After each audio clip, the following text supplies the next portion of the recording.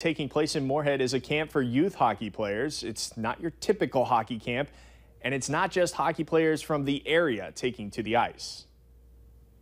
Boris Dorozhenko looks on at the hockey players taking his camp at the Moorhead Youth Hockey Arena. The training I provide for the young hockey players is um, kind of like systematic uh, work on the skating and skill. So it's definitely not limited by three days or four days or a week. His camp is four weeks long. Dorozhenko is from the Ukraine. He played professional hockey in the Soviet Union and after his playing days decided to help develop hockey players in Mexico before landing in Phoenix, Arizona a decade ago. Not necessarily known as a hockey hotspot, he developed next generation hockey and has worked with NHL players like Auston Matthews from Phoenix, who just won the NHL Rookie of the Year.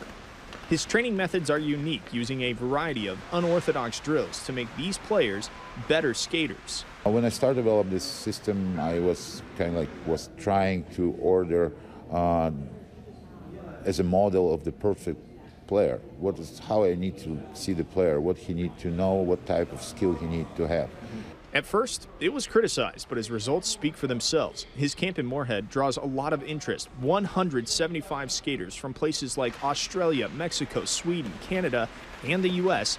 are taking part in the month long camp. A lot of his skaters will move in with Moorhead youth hockey families for the duration of the camp, which gives a chance for the kids to learn about other cultures.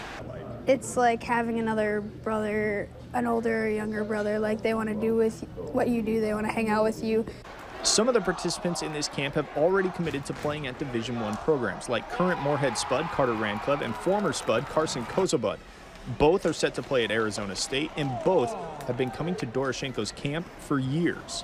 I like the the style, just because not many not many coaches make you go up and down the ice, probably hundred times a day at least, doing different 360s on the ice, and it's all stuff that it looks like it would never correlate to a game, but then once you start playing, you're like, it starts correlating and you're going, I, I, never thought this would happen just because I'm doing 360s and stuff. Dorozhenko's methods might not be the usual ones, but he's seeing results and he likes the challenge of bringing out the best person on and off the ice, regardless of the skill level.